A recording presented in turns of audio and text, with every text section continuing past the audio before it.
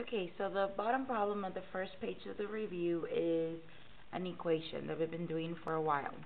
So the first step on the equation is to put your line down the y, or the equal sign, sorry. So the line down the equal sign. Then you're going to cover one side of the equation and ask, do I need to simplify that? And we see parentheses and all that, so I know I do need to simplify it. So I'm going to forget this side exists for now, and I'm going to concentrate on that one and simplify it. Okay, so the first thing I need to do is distributive property. So I'm going to distribute the 6 into here. So I say 6 times y, 6y. 6 times positive 4 plus 24. That minus 4, nothing happened to it, so I just bring it down. It was not part of the multiplication. Okay, so here I ask myself, am I ready to move on to the other side or can I simplify again? And the answer is we can simplify again because we see that these two are like terms. They're both constants. 6y, nothing happened to it, so I bring it down. 24 minus 4, it's a regular number, so I know what it is, will be plus 20. Now I am simplified all the way on this side, so I'm done with this side. I'm going to move to the other and ignore this one now. Do I need to simplify here?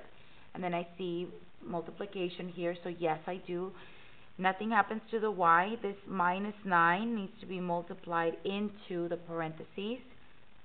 So minus 9 times 3y.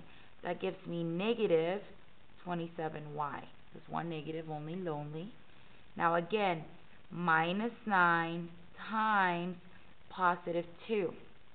That's going to give me negative 18. Again, the y was not multiplied, nothing happened to it. I just bring it down. Okay?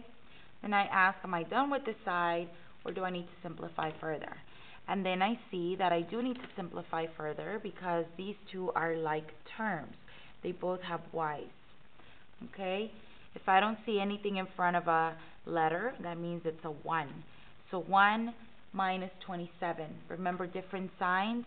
You're going to subtract and keep the sign of the largest. So 27 minus 1 is 26. And the sign of the largest is this one, the negative, because 27 wins. And I just bring down the negative 18. Nothing happened to it. Now I simplified all the way here. Now I'm going to look at the whole thing.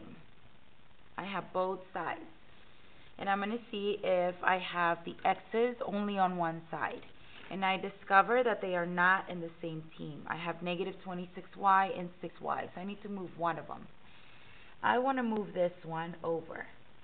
To move, I can add or subtract only. So since this is minus 26y, to cancel it out, I'm going to do plus 26y. And what I do to one side, I do to the other.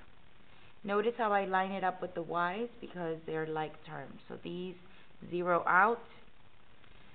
Here I'm going to have positive 32 y plus 20 equals negative 18. From here, I'm at the party, so now I have to uh, cancel out. Remember, we are solving for y. y is still not alone. I need to get rid of all of these things. The easiest one to get rid of is add or subtract. So plus 20. I get rid of it by the opposite minus 20. I still have 32y over here. Over here, remember, same signs, add and keep the sign. So over here, I'm going to have 38 negative.